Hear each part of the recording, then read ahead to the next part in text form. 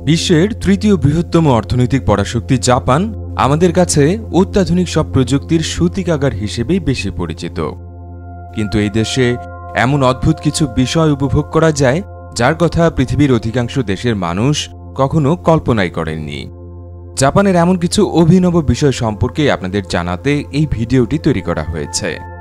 অভিনব এই বিষয়গুলোর মধ্যে চলচ্চিত্রের একটি কাল্পনিক চরিত্রের নাগরিকত্ব লাভের ঘটনা থেকে শুরু করে রয়েছে বাচ্চা শিশুকে কাঁদানোর মতো প্রতিযোগিতার কাহিনী। প্রিয় দর্শক, চলুন তবে আর দেরি না করে ফানি ফ্রক ক্রিয়েটিভসের এই পর্বে জেনে আসি। জাপানে প্রচলিত এমন কিছু অদ্ভুত বিষয় সম্পর্কে যা আর অন্য কোথাও দেখতে পাবেন না।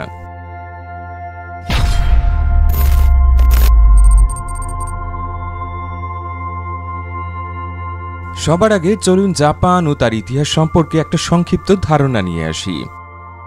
উত্তর পশ্চিম প্রশান্ত মহাসাগরের বুকে প্রায় সাত হাজার ছোট বড় দ্বীপের সমন্বয়ে গড়ে উঠেছে সূর্যোদয়ের দেশ হিসেবে সুপরিচিত রাষ্ট্র জাপান। প্রায় তিন লাখ আটাত্তর হাজার বর্গ কিলোমিটার বা এক লাখ ছেষট্টি হাজার বর্গমাইল আয়তনের এই দেশে জনসংখ্যা সাড়ে বারো কোটির বেশি। জাপানের অন্তর্ভুক্ত দ্বীপগুলোর অধিকাংশই দুর্গম পার্বত্য এলাকা হওয়ায় দেশটির অধিকাংশ বাসিন্দা উপকূলবর্তী শহরগুলোয় বসবাস করেন। ফলে এই দেশের শহরগুলো বিশ্বের সবচেয়ে জনবহুল নগরীতে পরিণত হয়েছে। প্রায় চার কোটি অধিবাসীর কারণে জাপানের রাজধানী টোকিও শহরটি জনসংখ্যার বিচারে বিশ্বের বৃহত্তম মহানগরী। নৃবিজ্ঞানীদের গবেষণা অনুযায়ী, জাপানের অন্তর্ভুক্ত দ্বীপগুলোই প্রথম মানুষের পায়ের ছাপ পড়েছিল প্রায় চল্লিশ হাজার বছর আগে। এরপর খ্রিস্টাব্দ প্রথম শতকে এশিয়ার মূল ভূখণ্ডে অবস্থিত চীনের দখলে যাবার আগ পর্যন্ত প্রায় আটত্রিশ হাজার বছর জাপানের এই আদিবাসী সভ্যতা পুরো পৃথিবী থেকে বিচ্ছিন্ন অবস্থায় বেড়ে ওঠার সুযোগ পেয়েছিল। বিশ্ব ইতিহাস অনুযায়ী খ্রিস্টাব্দ চতুর্থ থেকে নবম শতকের মধ্যে জাপানের অধিবাসীরা তাদের সূর্য সম্রাটের নেতৃত্বে ঐক্যবদ্ধ হয়ে একটি সার্বভৌম জাতি রাষ্ট্র গঠনে সক্ষম হয়েছিলেন। এরপর প্রশান্ত মহাসাগরীয় অঞ্চলে জাপান দীর্ঘদিন তার একক আধিপত্য ধরে রেখেছিল।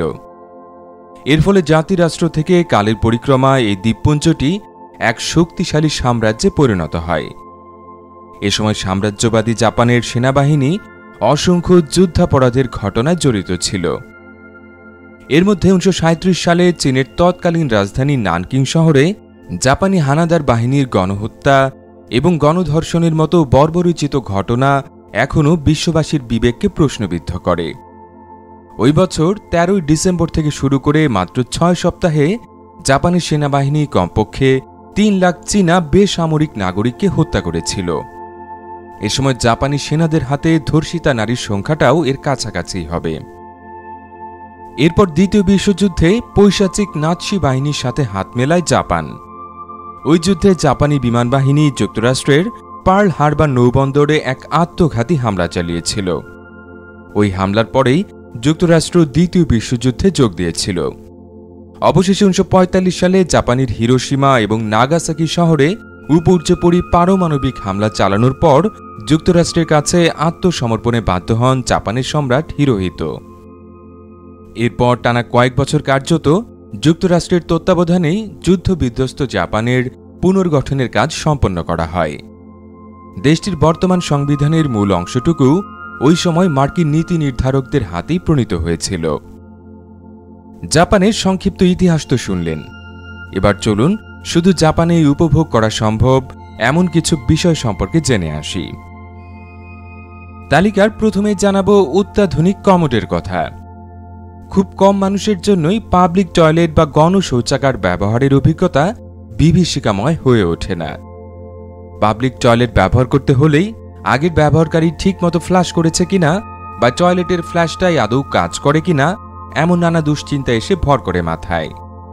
আপনার অভিজ্ঞতাটাও এমন হলে জাপানের পাবলিক টয়লেটগুলোর চেহারা দেখলে আপনার চোখ কপালে উঠে যাবে। সেখানে স্থাপিত অত্যাধুনিক কমোডগুলোই বিভিন্ন স্থানে এবং মাত্রায় ফ্ল্যাশ করার জন্য এক ডজনের বেশি বোতাম থাকে। স্বাভাবিক ফ্ল্যাশের পাশাপাশি ড্রায়ার থেকে শুরু করে কমোডের সিটটাকে উষ্ণ করার ব্যবস্থাও রয়েছে। জাপানি সংস্কৃতিতে পরিষ্কার পরিচ্ছন্নতার প্রতি বিশেষ গুরুত্ব দেওয়া হয়। এ কারণেই জাপানের টয়লেটে থাকা কমোডগুলো এমন করে বানানো হয়েছে।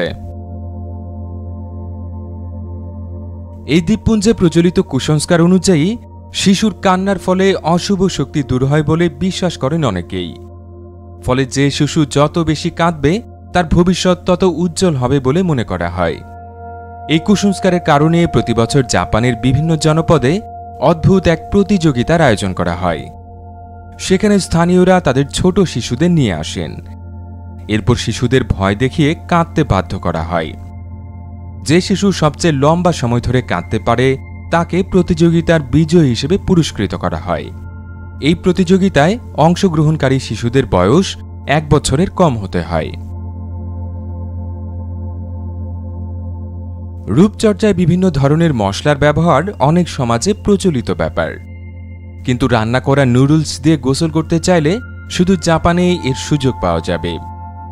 টোকিওর একটি বাথ হাউসে উষ্ণ পানির বদলে এই সেদ্ধ নুডলস দিয়ে গোসলের ব্যবস্থা রয়েছে। আগ্রহী ভোক্তাদের জন্য বিশাল বাথটাবে সেদ্ধ নুডলস দিয়ে ভরে ফেলা হয়।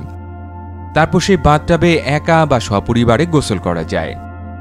ব্যতিক্রমী এই বাথ হাউসটির সত্ত্বাধিকারীর ভাষ্য অনুযায়ী, নুডলসে বিদ্যমান কোলাজেন নামক পদার্থটি সেদ্ধ অবস্থায় চামড়া পরিষ্কারে দারুণ কার্যকরী হয়ে ওঠে।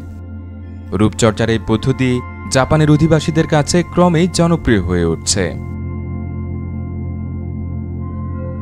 রাস্তায় চলার সময় ট্রাফিক লাইট দেখে চলাচল করতে হয় সবাইকে।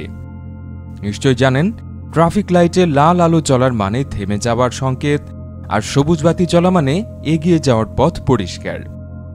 কিন্তু জাপানে আপনি ট্রাফিক লাইটে সবুজ বাতির পরিবর্তে নীল বাতি দেখে চমকে উঠতে পারেন। যদিও সেখানে নীল বাতি জ্বলা মানেও সামনে এগিয়ে যাওয়ার সংকেত। কিন্তু জাপানে প্রচলিত সবুজ বাতির পরিবর্তে কেন নীল বাতি ব্যবহার করা হয়, এই প্রশ্নও নিশ্চয় আপনার মনে জেগেছে। মূলত দেশটিতে প্রাচীনকাল থেকে নীল এবং সবুজ রং দুটি বোঝাতে আউ শব্দ ব্যবহার করা হতো। পরবর্তীতে সবুজ রং বোঝাতে মিডোরি শব্দের প্রচলন হয়। কিন্তু ট্রাফিক লাইটে সবুজ বাতি বোঝানোর জন্য স্থানীয়রা আউ শব্দটির ব্যবহার অব্যাহত রাখেন। ভাষার এই জটিলতা নিরসন করার জন্য উনিশশো তিয়াত্তর সালে জাপান সরকার ট্রাফিক লাইটের সবুজ বাতি যতটা সম্ভব নীল শেডে ব্যবহারের জন্য আইন জারি করে। যে কারণে দেশটি ট্রাফিক লাইটে সবুজ বাতির জায়গায় নীল বাতির এই অদ্ভুত ব্যবহার দেখা যায়।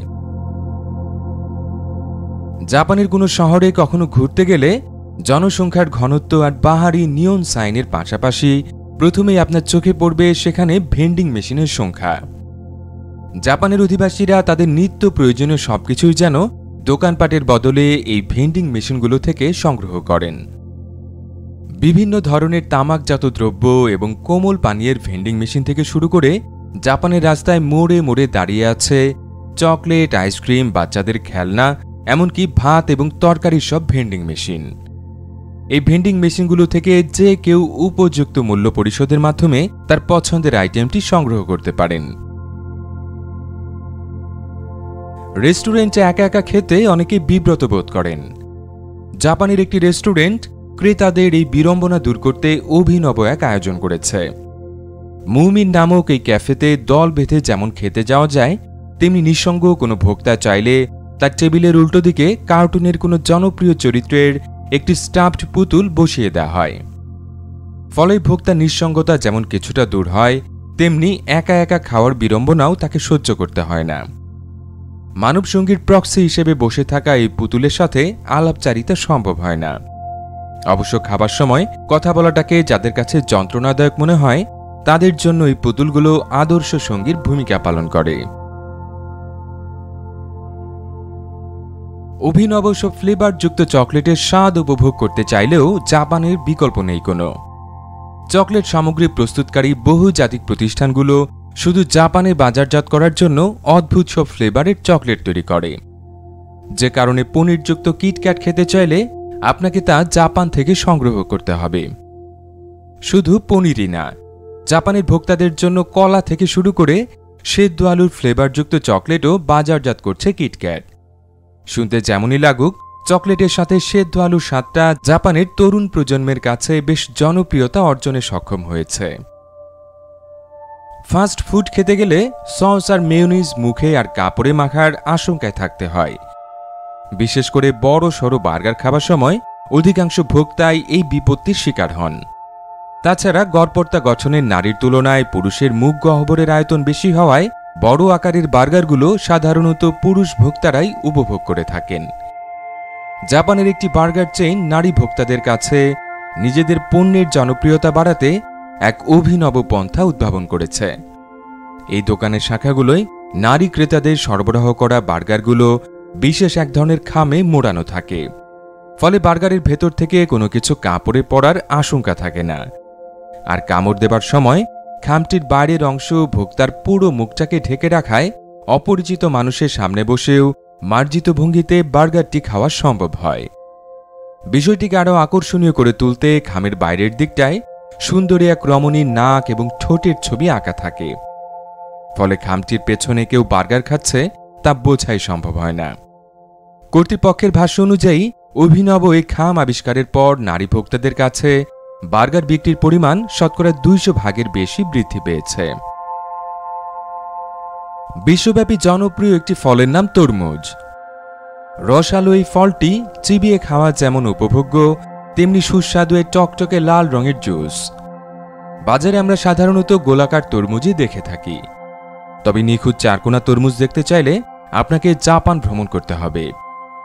তরমুজগুলোকে এমন আকৃতি দেবার জন্য খুব ছোট অবস্থায় চারকোনা বাক্সে বন্দি করা হয়। এরপর তরমুজটির আকার বড় হওয়ার সাথে সাথে বাক্সের আকারও বৃদ্ধি করা হয়। এভাবে উৎপন্ন তরমুজটি বাক্সের চতুষ্কোণ আকার ধারণ করে। তরমুজের এই আকার সংরক্ষণ এবং পরিবহনের জন্য দারুণ উপযোগী।